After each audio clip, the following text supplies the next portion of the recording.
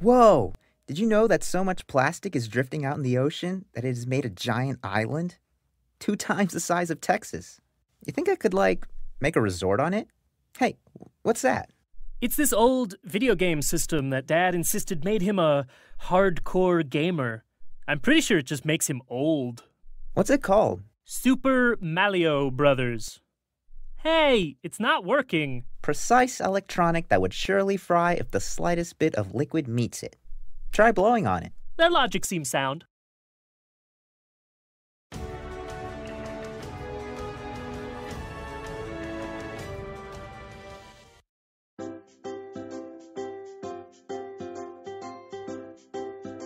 Okay, Louis VC, let's go save the princess. Oh, mamma mia. Princess, you're supposed to start in the castle. Not this time, Malio. Now I'm leading the adventure. Louis VC, that demotes you from sidekick to third wheel. Oh, mamma mia! Louis VC lose.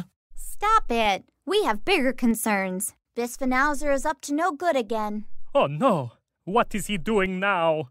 He's decided to build himself a new castle made entirely out of plastic without any concern about what that will do to the environment. You know how he does it. Tons of hard plastic spikes, molten plastic moats, go-kart track, all that stuff. But how does using plastic hurt the environment? Wait, don't you guys know anything about plastic? Oh, when you grab it, you become invincible for a short time? Nope, that's the stars. Oh, then no. Of course not. What did I expect from two guys who constantly hit bricks with their heads? Anyway, you guys need to know everything about plastic to defeat Bisphenozer. Let's start at Bisphenozer's plastic factory. Hey, what are they doing? That's how plastic is made. Fossil fuels such as crude oil and natural gas are heated, causing them to break down into small molecules called monomers.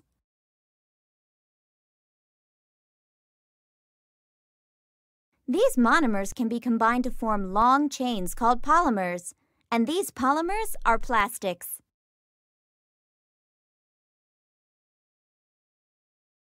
Mm, but uh, I thought that the fossil fuels are used to, to produce energy. That's also right. Even this factory runs on energy from fossil fuels, and all this use of fossil fuels greatly contributes to pollution in our environment. Louis VC, we've got to stop this.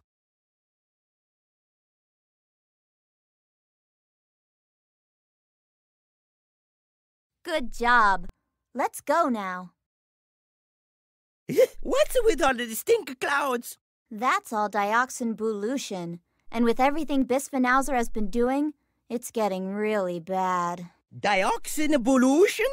What's that? Dioxins are highly toxic chemicals released into the atmosphere during the production of the plastic polyvinyl chloride, also known as PVC. Dioxins can cause many health problems. Let's get out of here. I think that I would rather fight Bisphenozer than breathe in this pollution.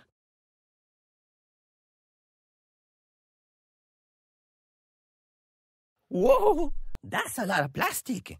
What's it all doing here? This must be where Bisphenozer is disposing of his plastic waste. You mean he's just gonna leave it out here? Most likely, yes. Many commonly used plastics are not biodegradable, meaning that they don't break down over time. Instead, they are going to stay here forever. What are those mushrooms doing? Bacteria and fungi, such as those mushrooms, are decomposers, meaning that they can break down matter. Some fungi and bacteria, not that particular mushroom, can even decompose a small amount of some types of plastics, but it's not enough. So, mushrooms are really helpful? Yes, and that's why you guys should stop eating so many of them. Well, at least plastics can't do any harm by just sitting out here. Actually, they can. Toxic chemicals can accidentally leak out of the plastics and into the landfills, and eventually into the groundwater. What's toxic in plastic? Chemicals like BPA and phthalates. BPA is used to make clear polycarbonate plastics and epoxy plastics that coat the insides of food cans. BPA is an endocrine disruptor, meaning that it can interfere with the hormones in our body. And phthalates are chemicals added to plastics to improve flexibility and durability. Like BPA, some phthalates can also cause problems to the endocrine system, while others can cause cancer. Once these chemicals enter the groundwater, they can be easily absorbed by plants, and they can also enter rivers, lakes, and oceans. Come on, I'll show you.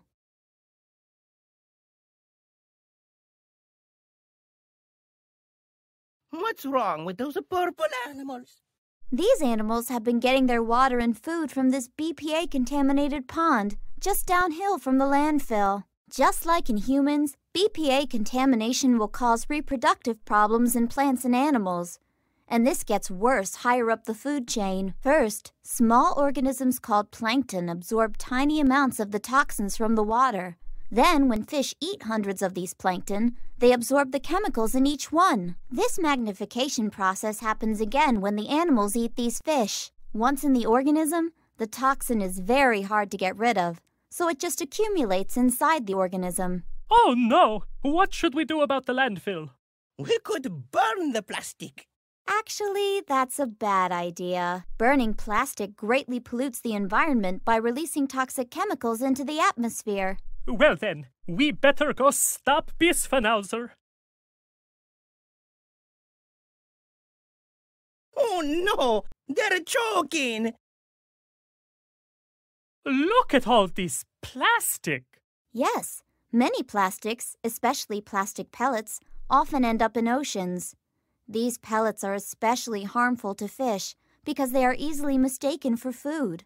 Once eaten, the pellets block their digestive system and they die. We've got to defeat Bisphenozer. Hey, what's over there in the ocean? It looks like a floating pile of trash. That's actually all plastic. Every year, 8 million tons of plastic is put into the ocean. That's equivalent to five plastic bags for every foot of coastline in the world.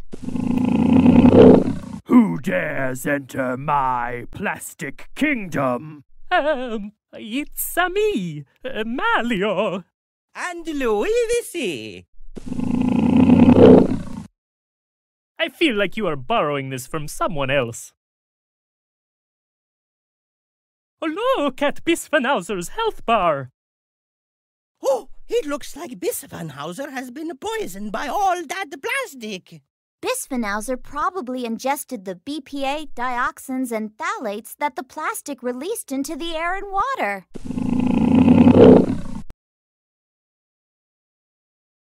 That did it!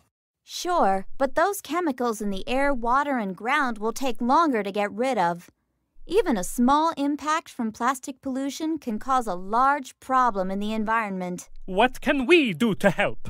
You should avoid using plastic when possible. Bring a reusable grocery bag.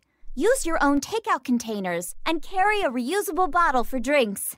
And if you have to use plastic, make sure you know where to recycle it. Yup. So, what do you guys want to do now? Uh, Do you want to play tennis? No. How about go karts? Nah. What about uh, soccer? No. Let's just throw a party!